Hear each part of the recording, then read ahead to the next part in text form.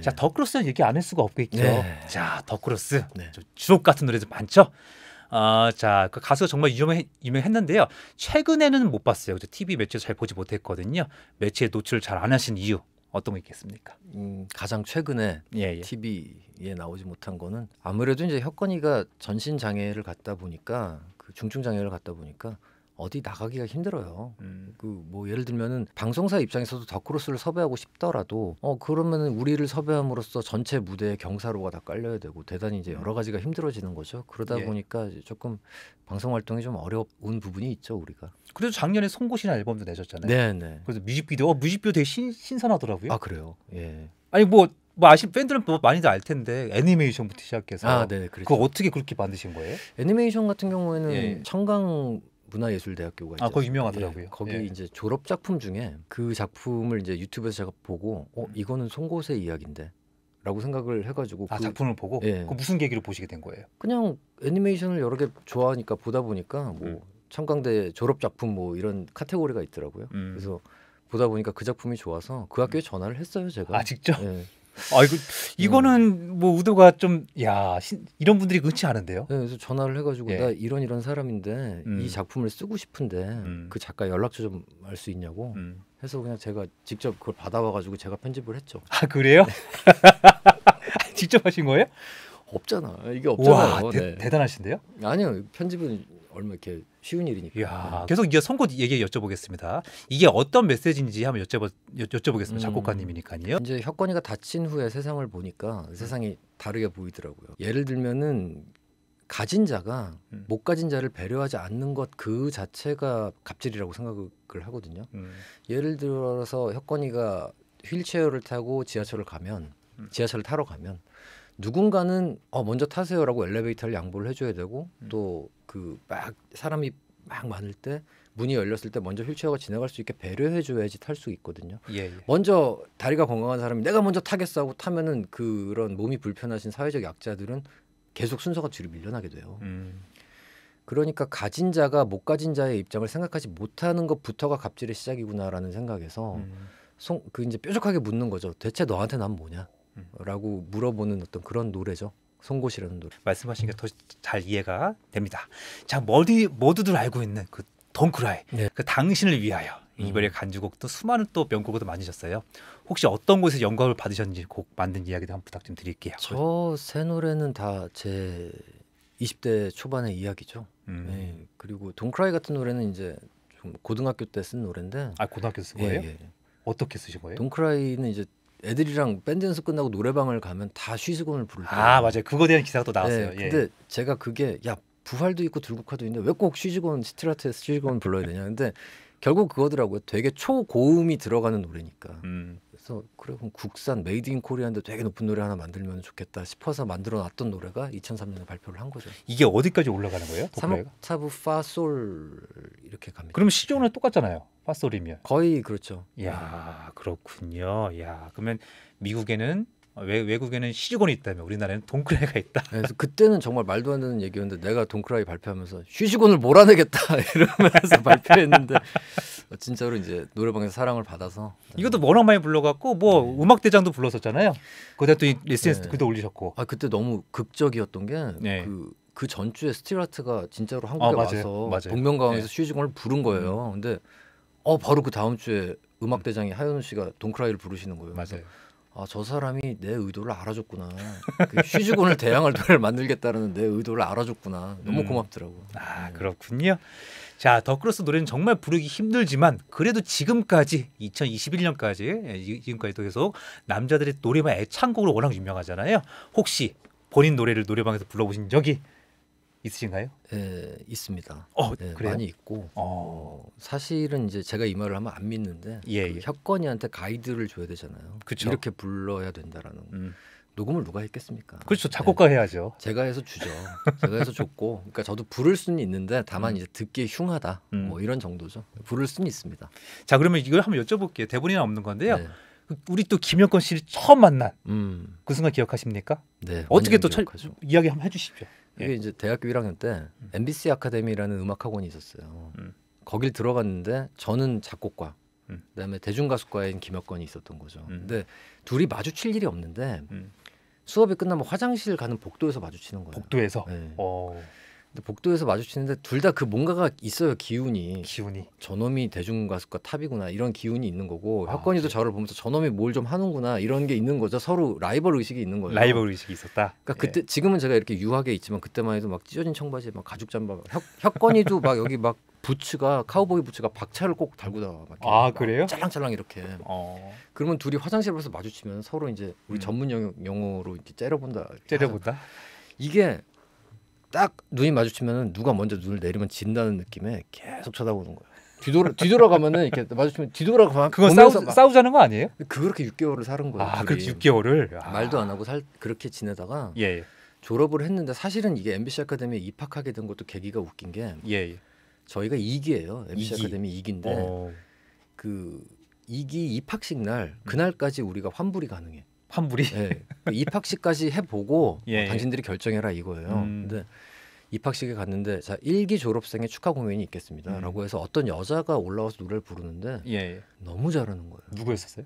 그래서 아니 우린 그거였죠. 예. 여기서 6개월 배우면 저렇게 되는구나. 아. 야 등록해 환불하지 마 이거였는데 예, 알고 예. 보니까 나중에 걔가 린인 거예요. 아, 린. 그 사람은 아. 태어날 때부터 노래를 잘했던 사람이죠.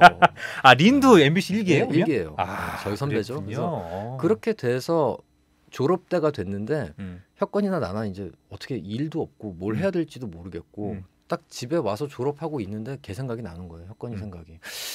걔랑 같이 뭘 하면 될 것 같은데. 직접 딱 생각 나갖고 예. 연락을 먼저 하신 거예요? 그래서 이제 학 그 저희를 가르쳤던 선생님을 통해서 연락처를 음. 받아서 전화를 했어요. 직접. 네, 음. 나 나를 아는지 모르겠는데 내가 대중 저기 작곡가 누구다 어. 이시하다 이렇게 했더니 한참 얘기를 듣더니 야 너 그 작곡가 매의 눈이지 이러는 거야. 아, 메인 메인. 매의 눈, 매, 맨날 째려보니까 너그 매의 눈이지 이러는 거. 그게 이제 우리 시작이었죠. 그렇게 해서 야 너랑 나랑 같이 뭘 해보면 되지 않을까. 그래서 만났을 거 아니에요. 예, 어디서 만났습니까? 만난 거는 이제 걔네 집에 가서 아, 직접 집에 어, 갔어요? 걔 오라 그러더라고. 자기 집에 작업실 있다고. 아 작업실 있다고. 그러니까 요만한 아. 방에다가 네. 달걀판 막 해놓고 자기 혼자 그 노래 연습실이 있더라고요. 어. 그래서 거기서 이제 첫 작업이 시작이 된 거죠. 혁건 씨 처음부터 노래 잘했어요? 예, 그 친구는 탁월했어요. 타고났어요? 네. 고음도 타고났고. 예. 와 그랬군요. 예. 근데 이제 탁월했지만 제가 쓴 노래를 부르기 위해서 또 연습을 피나게 했던 게 있죠. 그 친구가 뭐 아침에 김밥 한 줄 들고 음. 그 산을 뛰어 올라가 가지고 그러니까 어. 정상까지 쉬지 않고 뛰어 올라가요, 얘가. 어. 그래서 그 위에서 4 시간 연습하고 김밥 한 줄 먹고 내려오고 이거를 거의 매일 했었거든요. 아 거기가. 그래요?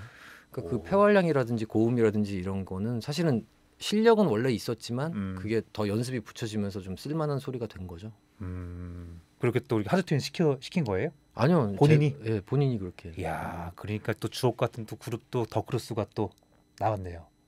제가 업혀갔죠, 혁건이한테 업혀갔다고 봐야죠. 네. 노래 워낙 잘했으니까 혁건이가. 그렇군요. 명곡도 제조기신데요. 혹시 같이 작업한 후배 가수 있으신가요? 어- 어땠습니까? 같이 음, 작업하고 싶은 후배 요- 가수. 요즘에는 이제 임영웅이나 김호중 이런 분들 노래를 들어보면 예, 예. 이렇게 좀 화려하지 않은데 담담하면서 진정성이 좀 있더라고요. 그러면 혹시 네. 트로트 쪽도 생각이 있으신 건지? 뭐 트롯이라고 한다면은 트롯이겠지만 요즘에 어. 뭐그 임영웅의 사랑은 늘 도망가 뭐 아. 이런 노래 들어보면 완전히 또 트롯은 아니잖아요. 그렇죠. 발라드를 예. 기본으로 하고 있고요. 예, 그런 작업하면 재밌겠다. 근데 지금 이제 그분들한테 곡을 주려면 경쟁률이 너무 치열하기 때문에 그렇죠. 예. 그분들이 이제 한 바퀴 돌고, 어, 돌고. 나중에 좀 같이 작업할 수 있으면 재밌겠네요. 네.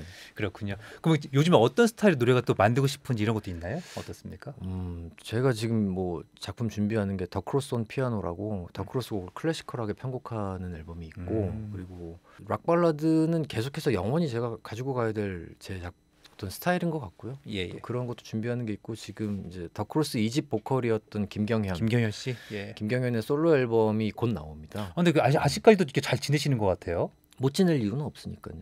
너 내가 뭐 콘서트 할때 자꾸 가시고 이렇게 하- 했었잖아요. 예, 그놈 또 아, 형님 좀 와주세요. 그럼 가야지 뭐 어떻게? 그러니까 제가 측근이 몇 없어요. 음. 그러다 보니까 뭐 이렇게 누가 오라 그러면은 그래 하고 가는. 오늘 사실은 여기 음. 섭외하실 때도 어저 혁건이랑 잘 알아요. 그 한마디가 어 갈게요. 이러고, 그냥 가- 왔잖아. 아니 감사하고요. 예. 아니 제가 보니까 그러니까 되게 인맥 관리를 되게 넓히지는 않더라도 음. 좁게 깊게 가시는 것 같아서 좀 그런 그런. 분들이 네. 되게 또 되게 예, 정이 많은 분들이거든요. 네 맞아요. 저 잔정 예. 되게 많고 예. 사기도 잘 당하고. 그래서 또 이게 또 협- 협회 또 이사까지 되신 네, 거니까요. 네. 또 새롭게 또 협회가 둘러가는 것들 예, 기대가 됩니다. 자 그리고 더크로스의 많은 팬들이 또 활동 기, 많이 기다리고 있어요. 뭐 팬들도 많이 또 뭐 기다리고 있겠지만 바쁘시겠지만 앞으로 활동 계약 좀 부탁 좀 드릴게요. 아마 올해 이제 저희의 싱글이 한 장이 나갈 거고 아 올해 언제쯤 나오나요? 그거를 모르겠습니다. 올해 아니 올해 내일까지밖에 없어요. 아 올해 그 내년이요. 내년. 네. 그렇구나. 해가 내년. 바뀌었는 줄 알았습니다. 우리 네. 뭐 호랑이 호랑이 해. 예, 범의 해에 예, 예. 예, 앨범이 한 장 나올 거고요. 뭐 상반기 때 나오나 또 언제 나오나? 상반기를 목표로 일단 작업하고 있는데 아, 그렇군요. 사실은 이게 제목이 꽃이란 노래여서 꽃이요? 예, 그 우리가 이거 꽃 플라워 예, 얘기하는? 플라워인데 예. 그래서 이제 봄에 내고 싶었는데 음. 선거 때문에 7, 8일 밀어넣어가지고 할 수 있을지 그 안에 할 수 있을지 아, 모르겠고 선거가 또 있, 있군요. 네, 그, 그러니까 그 제 저작권 옆에 선거하느라고 제가 한 두 달을 거기 매진해가지고 아 그러셨군요. 음. 아무튼 그렇습니다. 곧 조만간 좋은 작품으로 다시 찾아뵙도록 하겠습니다. 그 민주주의의 꽃은 선거라고 하잖아요. 네, 그런 그렇죠. 의미로 뭐 그런 건가요? 어떤 어떤 건가요? 아닙니다. 그냥 그 이 겨울에 음. 어, 땅이 얼어서 그 꽃이 죽었는 줄 알았는데 음. 어, 그래도 참고 그 추위를 기다리니까 아, 견뎌내니까 다시 음. 봄에 꽃으로 피더라라는 그런 내용이죠. 그러니까 어, 혁건이가 다치고 나서 어떤 그 인생을 보면서 느낀 제 소회를 적은 가사죠. 야, 그 지켜보면서 되게 네. 좀 어떻습니까 마음이? 어, 다 끝났다라고는 생각했거든요. 처음에 보면서 음. 아 다시는 얘랑 음악을 못 하겠구나라고 했지만 말로는 내가 혁건이한테 다시 해 노래하자라는 그 어떻게 보면 내 말은 정말로 속이 비어 있는 썩은 동아줄 같은 말이었을 수도 있어요. 음. 혁건이한테. 근데 어쨌거나 그 친구가 그걸 잡고 다시 재활해서 노래를 할 수 있게 됐잖아요. 음. 그걸 보면서 저는 꽃이 피었다고 생각을 했어요. 내가 정말 상상하지 못했던 또 다른 꽃이 피었구나. 음. 너무나 아름답다 이런 생각을 하죠. 자, 이거 그래서 많은 기다리는 팬들이 계시기 때문에 제 질문지는 없지만 네. 제가 또 영상 편지 또 시간이 있어요. 제가 뭐 보시게 되면 아 이거 오글 벌써 오글 되는데 자 제가 감히 좀 부탁 좀 드릴 건데요. 네, 팬들이 또 더크로스 더크로스 팬들도 남자 팬들도 많고 여자 여성 팬들도 많은데 어, 팬 여러분들께 그래도 음. 또 우리 캡틴이시지 않겠습니까? 캡틴 네. 이시하님, 시하님 한번 저 앞에 보시면서요. 네. 음악 들으시면서 한번 음악 듣고 제가 영상 편지 한번 남겨보도록 하겠습니다. 아 우리 더크로스 팬 여러분 안녕하십니까? 아, 더크로스의 캡틴 이시아입니다. 사실은 뭐 캡틴이라기보다는 그냥 혁건이 친구 이시아인데 음, 더 많이 찾아뵙고 싶고 어, 더 좋은 작품을 들려드리고 싶은데 참 여의치가 않네요. 저희 사정이라는 게 어, 어쨌거나 끝까지 포기하지 않고 어, 더 좋은 작품, 더 발전된 모습 또 선한 영향력을 행사할 수 있는 그런 그룹으로 영원히 남도록 열심히 살겠습니다. 조금만 더 기다려 주십시오. 감사합니다. 감사합니다. 제가 또 짓궂게 또 대본에 없는 것도 했는데 예. 또 이렇게 센스 있는 거 보시기에는 역시 베테랑이다. 약간 영혼이 없게 얘기한 것 같은데 다시 얘기하는 게 역시 한국 음악 저작권협회 우리 이사로 선정된 우리 캡틴 네. 이시아님과 함께 하고 있고요. 오늘 방송 어떠셨어요? 나뭐 즐거웠고요. 예. 예. 사실은 음, 어떤 방송인지 잘 모르고 나왔는데 예, 예. 예. 단지 이제 혁건이의 지인이다라는 것만 제가 알고 나왔는데 예, 나오길 잘했네요. 참 즐거웠고 특히 이 더 크로스 얘기는 어디서 할 기회가 많은데 또 음. 우리 민서님도 우리 저작권 협회 회원님이시다 보니까 저작권 협회 얘기도 할 수 있고 저작권 얘기도 할 수 있어서 너무 좋았습니다. 아니 이런 자리가 좀 협회 관련 자, 자리가 좀 네. 있었으면 좋겠다는 생각을 좀 해보 해봤던 거예요. 제 네. 개인적으로 너무 또 뵙고 싶었었고 네, 네. 협회 관련 얘기를 어디서 할 수가 없잖아요. 그러니까요. 그러니까 네. 그걸 한번 좀 만들어 주시죠. 어떻게 만들 어떻게 만들죠? 예, 뭐 기획해 주시면 열심히 하겠습니다만 그 그건 있어요. 그 예, 예. 우리나라가 자원도 없는 나라고 음. 예. 사실 결국은 10년 뒤에 우리가 먹거리는 그냥 지적 재산권이 아닌가라고 생각하거든요. 왜냐하면 맞습니다. 자원이 없는 나라가 이만큼 산다는 건 사람들이 머리가 좋다는 반증이잖아요. 음. 그런 나라일수록 지적 재산권으로 가야 되는 거고 음. 그 대표적인 사례가 음악 저작권이잖아요. 아, 그러니까 그 음악 저작권이 결국 나중에는 음. 잘 키우면 우리들의 전체 국민들의 먹거리 산업이 될 수도 있을 겁니다. 음. 자 협회 그또 관계자분들께 아마 또 이사도 선, 선출됐는데 협회 회원들께 회원들께 어. 한번 한마디 좀 해주시죠. 아우 참 회원 여러분 이번에 저한테 믿음을 보내주셔서 너무 감사하게 생각하고요. 제가 그 믿음을 어, 조금 더 저작권 징수 개선과 또 저작권료 증대를 위해서 복지 증대를 위해서 어, 그런 아름다운 꽃으로 피어날 수 있도록 4년간 제가 열심히 한번 뛰어보겠습니다. 감사합니다. 아, 좋습니다. 아름, 아름다운 꽃으로 피어나겠다 하면서 내년 상반기에 또 발매될 꽃 앨범 네. 또 많은 또 기다리실 텐데 많은 사랑 이렇게 이어주는 센스. 네. 부탁드리도록 네. 하겠습니다. 자 마무리 또 하겠습니다. 자 작곡가 겸 우리 또 가수 더크로스의 네. 캡틴 이시안님과 함께했습니다. 네. 감사합니다. 네, 감사합니다.